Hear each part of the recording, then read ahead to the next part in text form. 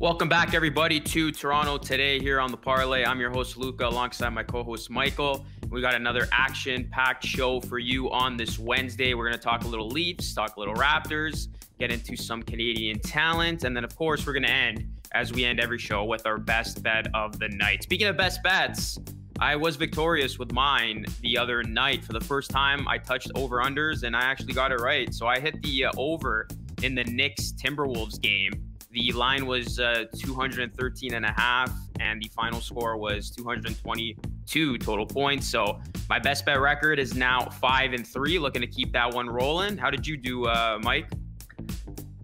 I was looking good until the game started, Luca. it was looking good until the game started. You know, Florida went with their their backup goaltender in Spencer Knight, and I think that kind of just threw everything off. And unfortunately, back in the losers column, man. We're at, sitting at three and five right now, so hopefully I can bounce back today. Yeah, it's all good, man. We, uh, you know, sometimes we stumble, sometimes we win. It's it's the nature of sports betting. You can't bat a thousand, that's for sure.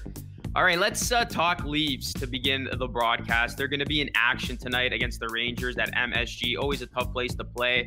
The Leafs, quite the favorite here on the road.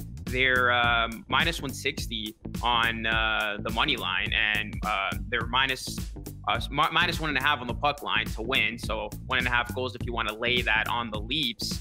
Um, yeah, how do you like their chances going up against a Rangers team that's been playing pretty well? I mean, they're six three and one in their last ten. The Leafs, of course, are seven two and one in their last ten. So both these teams coming in generally hot. And um, the over under for this one is set at five and a half goals. So maybe Vegas is tempting us to sprinkle some money on the over, considering these two teams they've been playing well lately.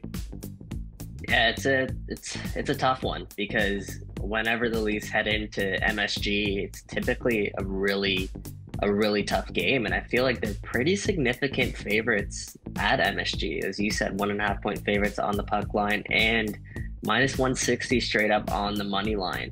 Yeah. Are we surprised to kind of see those significant odds in the Leafs' favor? I am a little bit. You know, as you said, both of these teams are playing really good hockey. Uh, the Rangers, in particular, at MSG, I mean, they're they're as solid as they come. And you mentioned that that over under. I mean, we have to take a look at that goaltending matchup in net. It's two of the best goalies right now in the NHL, in Jack Campbell and Igor Shesterkin. Yeah. And it's going to be tough to beat either of those guys. So honestly, with that five and a half, I know it's tempting, but it's I don't see it going going to be a goal fest tonight. I don't think it'll be a goal fest tonight between these two two teams who typically are really good at keeping the puck out of the net usually when you think, uh, yeah, you have a, an incredible goalie matchup, that means less goals, but usually flips the other side of that, and all of a sudden you have a scoring fest. I could see this being though like a a three-two game, just barely under that uh, that you know goal total. So yeah, I would probably ride with the under as well with you, Mike. But in terms of uh, you know that one and a half, I would definitely take the Rangers because uh, I do think this is going to be a one goal game. I mean, you look at the Leafs; they're two and three against the Rangers in their last five. And MSG is always a tough place to play. If this was at home, you know, different story. There's not a crowd involved, but those fans, they could get rowdy as we've seen on social media. So I think this is going to be a very good game. Wouldn't be surprised if the Rangers actually even pull this upset. So I'd be willing to take the one and a half, not quite drop money on the uh, the Rangers money line, but I think this is going to be a fantastic battle. But this to me is just Vegas showing the Leafs a, a, ton of respect, similar to what they've been doing with the Raptors. The Leafs have been a pretty safe bet for the most part, other than a couple hiccups here and there. And they're nine and two straight up in their last 11 games against an Eastern Conference opponent. So I think this is Vegas's way of just saying, you know, the Leafs. They just think they're head and shoulders than a lot of teams in the East. I know there's not a huge gap between them and the Rangers, who have been playing pretty well this season, but I mean, there's still heavy favorites going into this one, so expect a lot of people to drop that uh, that puck line perhaps in this, and uh, yeah, look for the Leafs to have their way with the Rangers. I just I, I just can't put faith though in the Leafs covering that. So like I said, I'll I'll go uh, Rangers plus one and a half and under goals. I think those would be my two plays for this. Yeah, and as you mentioned, the, the Leafs are two and three against the Rangers in their last five, and three of those games were actually one goal games. There you go. So it's always sort of a, a tight battle between these two teams. Um, just circling back a little bit to the, the over under, I threw out a couple stats here. The total has gone under in four of Toronto's last six games when playing at MSG. The total has gone under in six of the Rangers' last seven games. And the total has gone under again in seven of the Rangers' last eight games at MSG. So it's it's leaning at, at like it will be a, a, tight scoring matchup, but as you kind of mentioned there off the bat, is we, we think that that'll happen, and then the complete opposite will happen. It'll just be yeah. floodgates open all night. Um, but I think the, the first period will be important in determining that. If the first period is a tight matchup like we're expecting, then that's probably how the rest of the game will play out. I'm expecting a really good hockey game between these two teams. The question is, are you going to lay some money on Auston Matthews, who's been on a tear scoring on the road? He's scored in 10 straight games on the road, and he's actually just one game shy of the NHL record for most consecutive games scoring on the road. Ironically, currently held by former Ranger Pavel Bure and Steve Yzerman. So that's very tempting. Is Matthews going to accomplish this on the road at MSG? I mean, I would be willing to go Auston Matthews anytime goal. I mean, you'd be pretty, you know, I would say dumb if you don't because he's just been on that big of a tear that you got to ride with the hot hand at this point. Yeah, and just just looking that up right now, he's plus 100 to score an anytime goal, and to be honest, that's actually better than some of the odds he's been given lately to score a goal because everyone's picked up on it by now. I mean, he has 25 goals in 33 games this season. He became the first Leaf in team history to start his career with six straight 25 plus goal seasons. Unreal. And this guy right now, I know he's he's two goals back of Alex Ovechkin for the NHL lead, but I'll say it again, he is the best goal scorer in the NHL right now. He's the hottest goal scorer in the National Hockey League right now. And we know Matthews, he loves the big stage.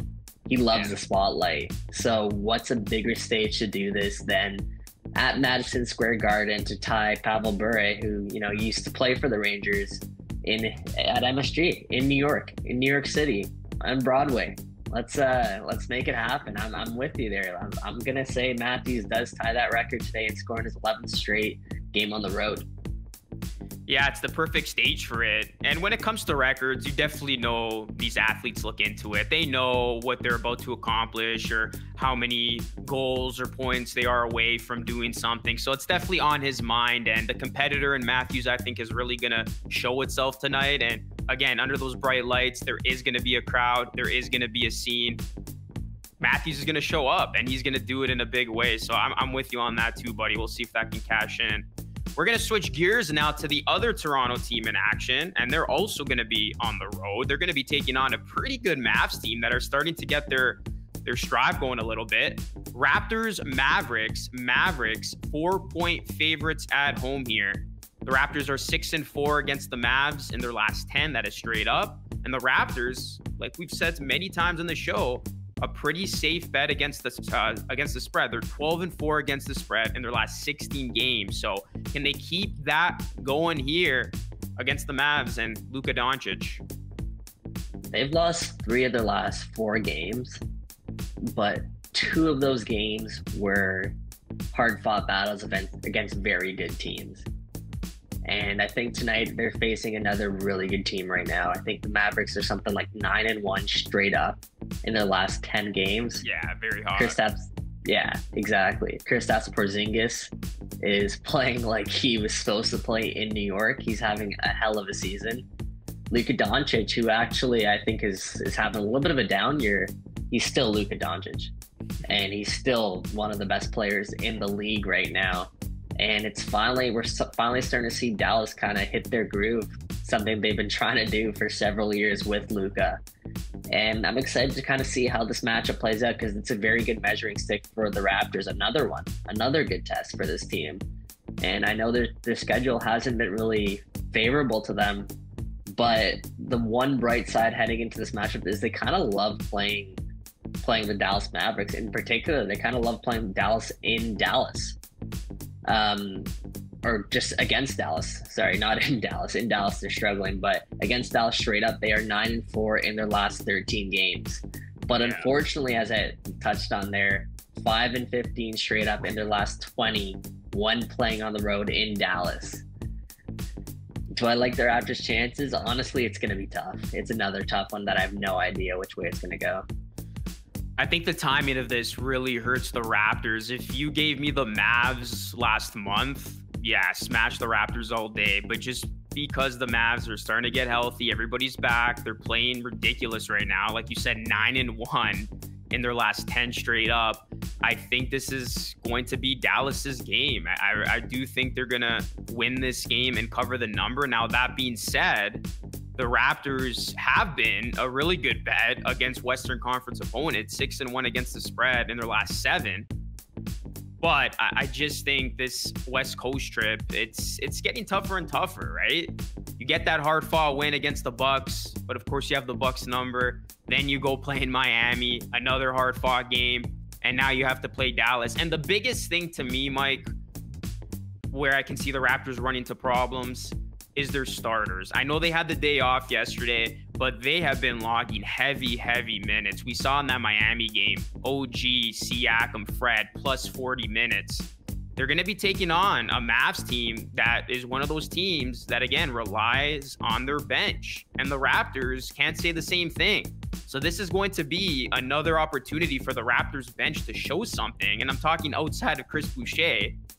And if that can happen, I can see the Raptors keeping this thing close and pulling up, you know, a little bit of an upset win here. But I, I don't know. I, I just don't think the Raptors are going to have enough gas in the tank to go up against Dallas. And another thing is, if Luka Doncic, who is a superstar in my opinion, if he goes off and has his typical Luka Doncic game, he's starting to get hot a little bit. Had an amazing game against the Grizzlies when they snapped their winning streak. It's going to be, it might be a long night for the Raptors. So the Raptors have already lost to the Mavs this season. That was back in Toronto. And now this is going to be the second time these two teams meet. So I think the timing of it is just very bad. You got a hot team coming in, and you got the Raptors who just have so many minutes logged on some of their main guys. So I don't think that's going to be a, a good recipe for them. Man, a four point spread is not that big for the Mavericks to cover.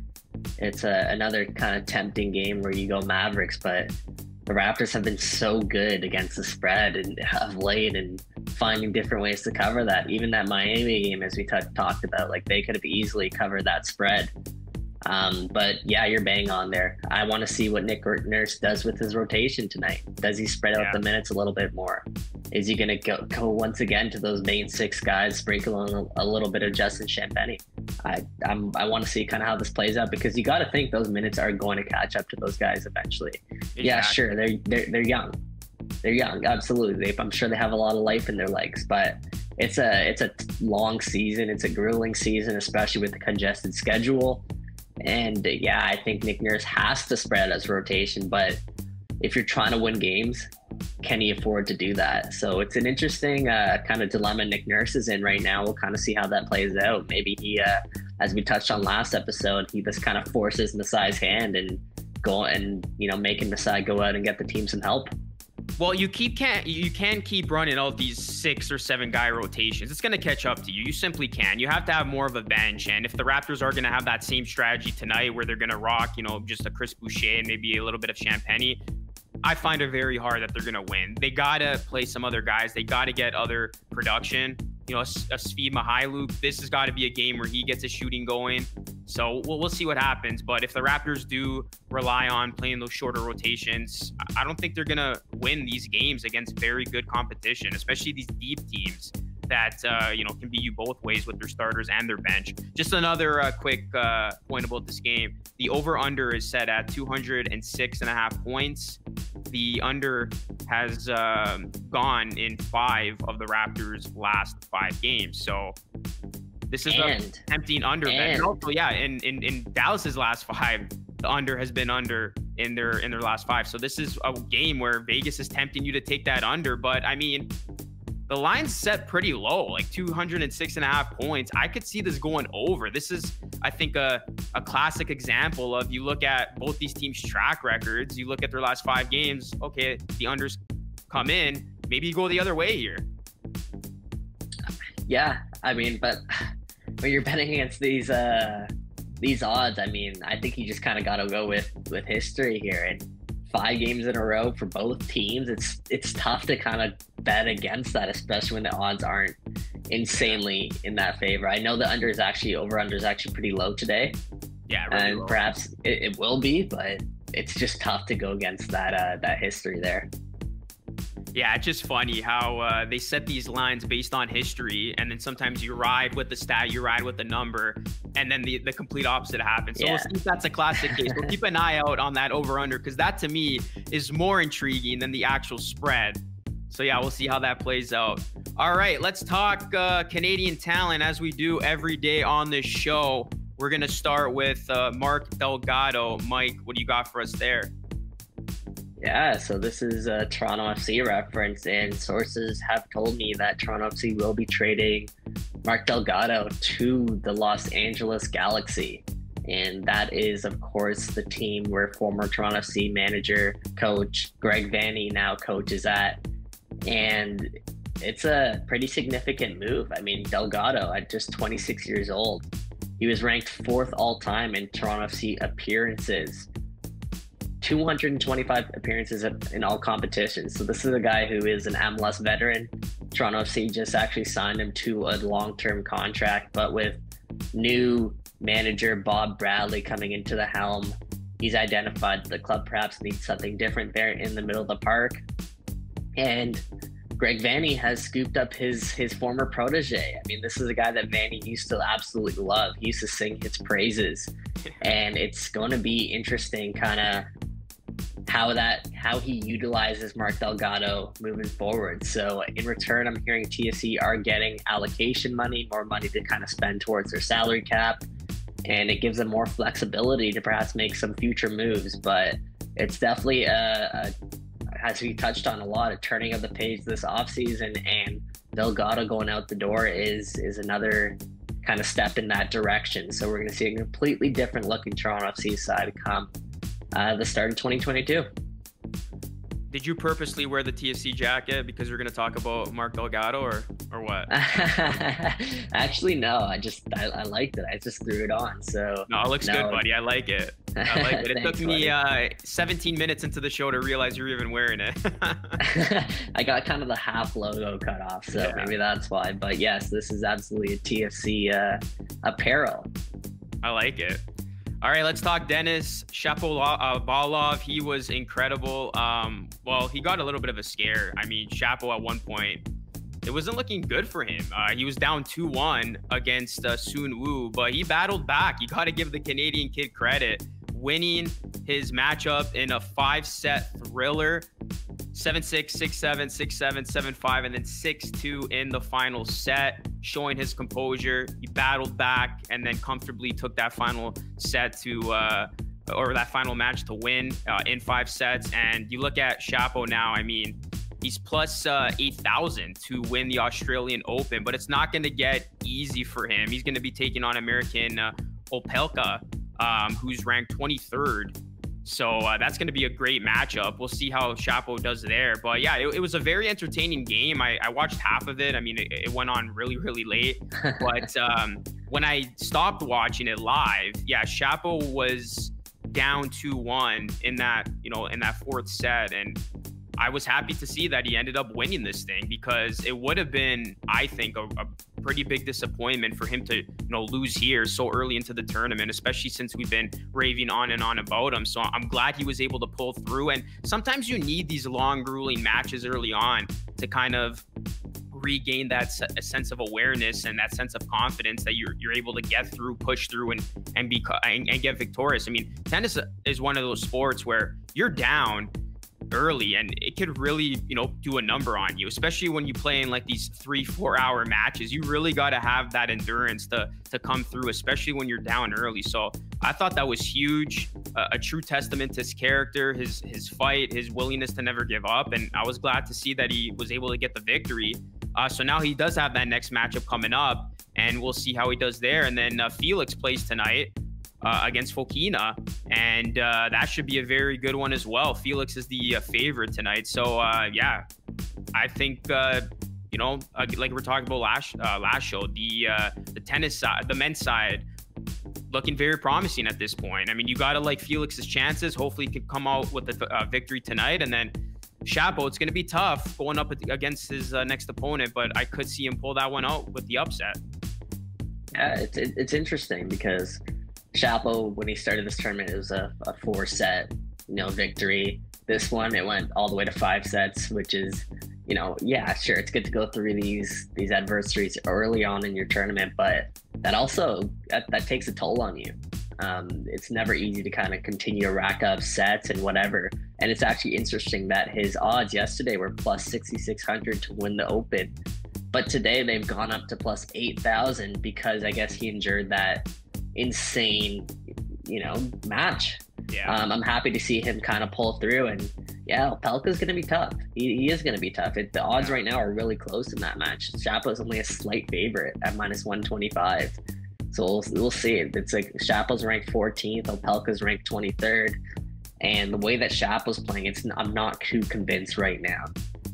I'm not I'm not yeah. too convinced. But if he can kind of get an easy game here, maybe perhaps three, four sets, But you never know. He gains confidence, and when Shapo's hot, he's one of the best players in the world. But speaking of one of the best players, as you mentioned, Felix Auger-Aliassime playing tonight, so that'll be exciting. And he's minus 350 against the, the Spaniard he's facing. So yeah. I'm expecting Felix kind of have a bit of an easier one than his opening matchup. But we'll kind of see how these play out. So, uh, not the best start at the Open, but it could be a lot worse. Yeah, it's not how you win, it's if you win. And uh, we're rooting for uh, both Shapo and Felix to pull through and have a deep run at the Aussie Open. All right, as uh, we promised at the beginning of the show, we're going to end with our best bets for this Wednesday night. See if Mike can get back on the uh, in the win uh, column. What do you got for us tonight, man? yeah, let's try and bounce back. And tonight I'm, I'm going to go back to the association, the NBA, because it's been doing me pretty well. And I'm actually going to be taking, surprise, surprise, the Los Angeles Lakers wow. to cover a five point spread against the Indiana Pacers. Listen, I think things have kind of changed since LeBron went public on Twitter and decided to apologize for the way that the team is playing.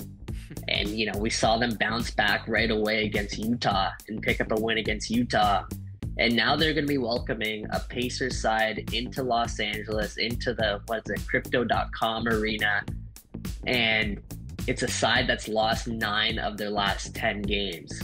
They also lost center Miles Turner to an injury that'll see him out past the trade deadline next couple of weeks. Yeah.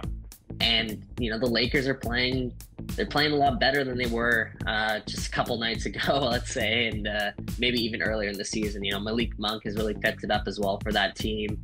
And of course, LeBron is playing like he's 25 again. So I'm taking the Lakers here to cover that five point spread at home. Yeah, it's funny. I was uh, ready to take the Lakers with my pick, so that's good I did it, just so we have uh, different picks for tonight. But I do like that Lakers pick. I think that's great value. I expected the line to be a lot higher. The Lakers are at home. Indiana, they're struggling. Turner's out now. And uh, it's interesting to see how the Lakers now play. Because was that win, that pretty big win against the Jazz, who did have Gobert back, was that the turning point for their season? A lot of people saying it may be, or maybe it's just a flash in the pan, but that was a really resounding win for the Lakers. I did not expect them to do that against the Jazz. And that poster dunk that Westbrook had against Gobert was that the turning point for the Lakers season and their success. So we'll see because yeah, it's not too often LeBron publicly comes out and apologizes for how poorly his team is playing. So uh, very you know, he takes that personally. And let me ask you then, Luca, what strayed you away from making that bet? Ah, just because it's the Lakers, and I, gotta see, I, I, gotta see more of a sample size of if I'm right about that turning their season before I confidently roll with that. And for some reason, the line being that low, I started thinking maybe it could be a trap. The Lakers let, let them prove it to me again before I put more faith in them. So if the Lakers are able to comfortably win tonight and cover that spread, I might be back betting on Lakers games, Mike. I'll leave it the Lakers bandwagon. So what do you got yeah. for me tonight? All right, let's uh let's move on to my best bet. I'm actually going to be rolling with a hot team. I'm going to be taking the Cavaliers just money line on the road against Chicago. And I know this could be viewed as uh, a very risky bet, but at the same time, the Cavaliers, they've been playing very good basketball. They've won five in a row. Their offense is clicking on all cylinders, and they're meeting a Bulls team. They do not look like the same Bulls team that we talked about just a week ago on the show. They are struggling right now. And of course, they have had Zach LaVine sidelined. Lonzo Ball is dealing with the same injuries. So injuries have completely hampered this team. Now, the good news, if you're a Bulls fan, Alex Caruso is going to return to the lineup tonight. So that's definitely going to help a suspect Bulls defense that has not been playing good over the last couple of, uh, over the, the past week. But I just think the Bulls not having LaVine and, and Lonzo Ball, they, they're really thin right now with their backcourt. You cannot put everything on DeMar DeRozan. And we have seen this Bulls team struggle to score the basketball. Vucevic has been playing great in light of the injuries, but I just don't think they have enough juice there to go up against the Cavs team that they've been playing great on both sides of the ball and that offense especially. I mean, Garland, you got to start talking about him as being an all-star. He's playing like one right now. He has been incredible to watch. And despite not having Rubio and dealing with their own adversities and dealing with their own injuries, the Cavs have been a great surprise story. They've been a great story in general for this season. And I think they're only a couple games back, one and a half games back of first. It's incredible. If they win tonight against the Bulls, they'll get even closer to the top of the standings. Yeah, I'm buying into this Cavs hype right now. I think they're they're gonna win tonight just because they're running into a Bulls team that have a lot of injury problems and they're in a rut right now. So give me the Cavs money line. I'll go with that. They're actually the the favorite on the road, and yeah, I love how you're singing the Cavs praises because they deserve it. They talk about the Collin Sexton injury, the Ricky Rubio one. I mean, this is a team that no one really anticipated to kind of be up here right now, and they've just prevailed kind of all season. They've done this all year, and it's it, or I guess people around the league are finally starting to take notice of what this team can offer. I like them. Evan Mobley is looks like he's legit. Jarrett Allen is really coming to his own in Cleveland, establishing himself as a, a force in the on the inside. So an all around team that you can't really root against, especially with uh, how much they've been through over the last couple of years. And in terms of the Bulls, it's kind of similar to the Raptors, where if they have one, two of their starters out of the lineup, they look like they're a completely different team. Yeah. And it's it's it's tough because those are two guys who are very key playmakers for this team. They like to have the ball in their hands a lot. So when you lose both of your backcourt, it's it like I said, it's just it's super tough to really overcome that. And if they're both out tonight, then yeah, I'm with you. I'm with you there. I like that pick.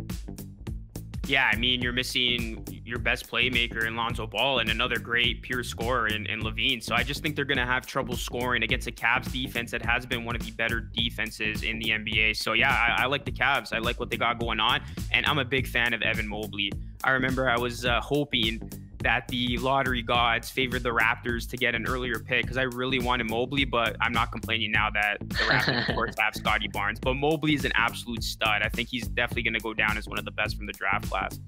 All right, yeah. that will conclude another edition of Toronto Today here on the Parleh. As always, thank you so much for watching. You can catch a show all over social media and be sure to leave us a nice review on uh, Apple uh, Podcasts. And you can get this wherever you get your podcasts. We come to you Monday through Friday talking about Toronto sports and more. On behalf of myself and Mike, we're signing off. Have a great night. Good luck with your bets, and we'll catch you all again tomorrow.